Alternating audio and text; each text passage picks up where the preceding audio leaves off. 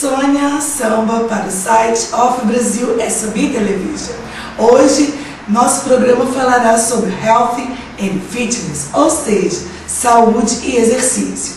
E para isso, nós temos uma profissional super especial e muito competente. O nome dela é Luciana Bi.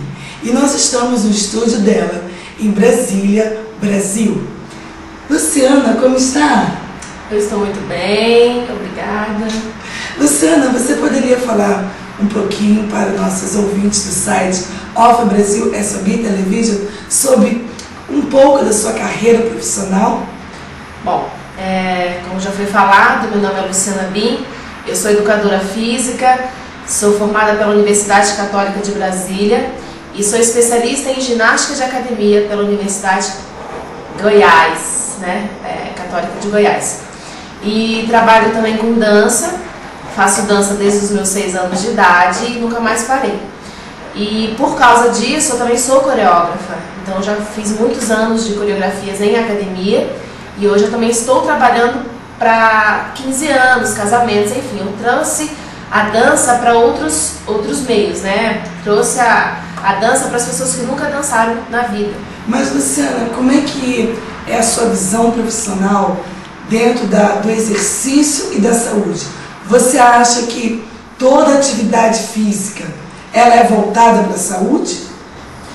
Olha, às vezes sim, às vezes não. Vai depender muito do, do ponto que o aluno ou o praticante queira, né?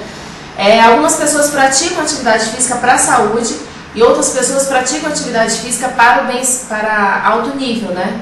É, alto rendimento. Então, e o, o, o seu trabalho, é, você trabalha somente com exercício voltado para a saúde ou você trabalha também como esporte ou como exercício, como rendimento, a questão até mesmo do fisiculturismo, até essa questão do modismo, principalmente as mulheres que querem seguir um certo padrão de corpo, por exemplo, é, qual, qual o nível, como é que é o perfil da sua clientela? Olha, eu trabalho também numa academia grande aqui em Brasília. Lá as pessoas também visam muito isso, a alta performance. Mas o meu estúdio especificamente não.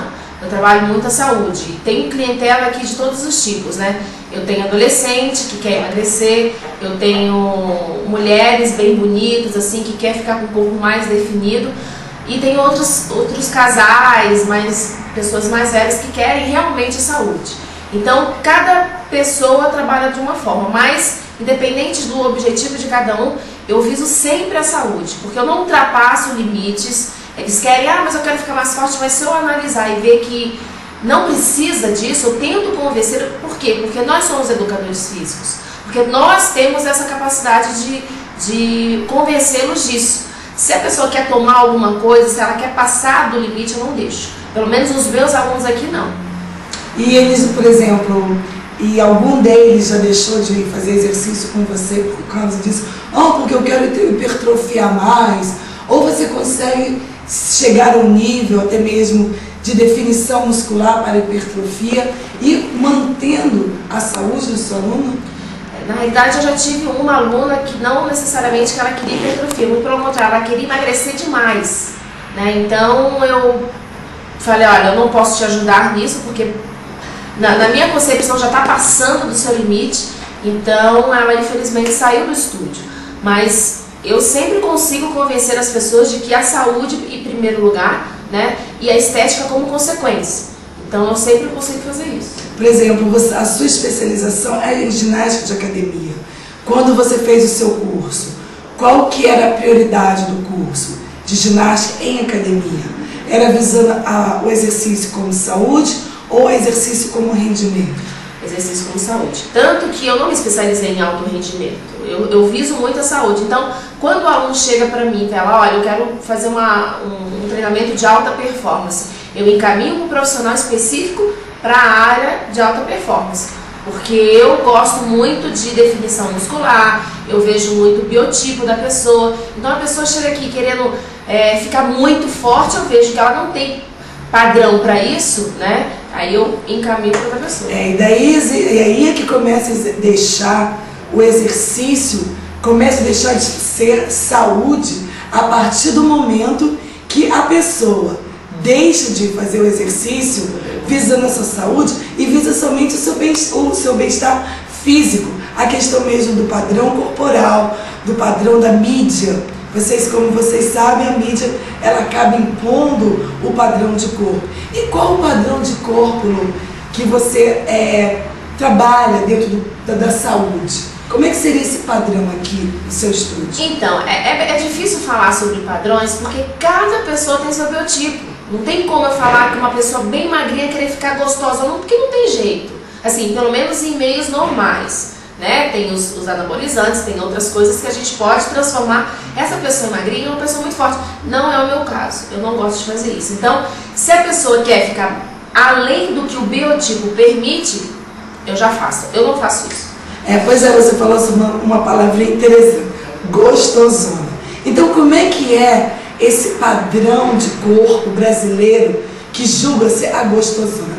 Você poderia descrever para a gente aqui do site Off Brasil, SB Television, principalmente que eu estou aqui no Brasil, em Brasília, e eu gostaria de definir agora na atualidade, de setembro de 2009, como é que seria esse padrão de gostosona brasileira? Bom, esse padrão de gostosona brasileira é o seguinte, é cintura bem fina, com percentual de gordura bem baixo na parte abdominal, e um glúteo mais avantajado, uma coxa mais avantajada. Então, a partir daí que as mulheres se sentem mais gostosonas, né? Tem braços fortes e tal, mas praticamente a cintura muito fina e glúteo e, e coxa mais. E a questão do, do braço? Você acha que a, a, o padrão brasileiro gostosona, ela tem a definição muscular no braço também? Tem, tem definição. Tanto que as meninas, as meninas que procuram esse padrão de gostosona, elas não gostam muito de malhar braço, elas gostam mais de colocar perna. Só que fica simétrico, né? Porque elas ficam muito fortes na perna e ficam com o braço muito fino.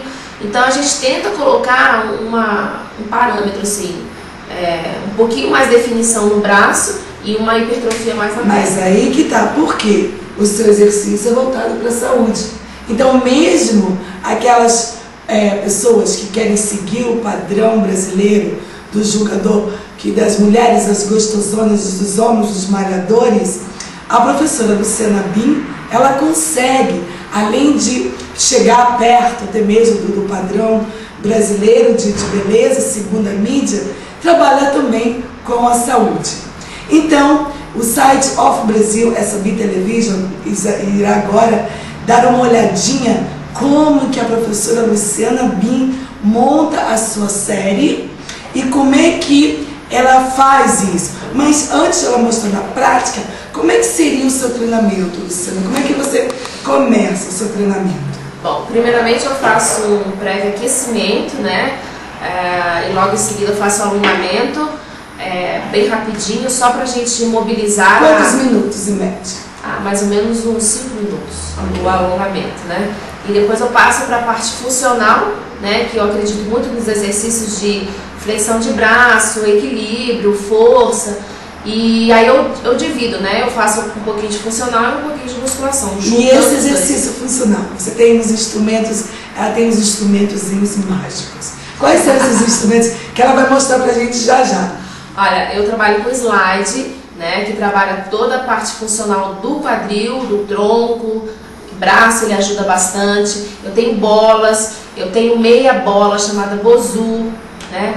E trabalho também com, com rodinhas, com, enfim, elásticos. Essa, essa é, e depois você vai para os exercícios aeróbicos, né? Que você trabalha. Primeiro, primeiro eu faço o aquecimento no aeróbico, depois eu faço o alongamento, depois eu vou para o funcional e depois do funcional eu vou para a musculação. Então vamos lá?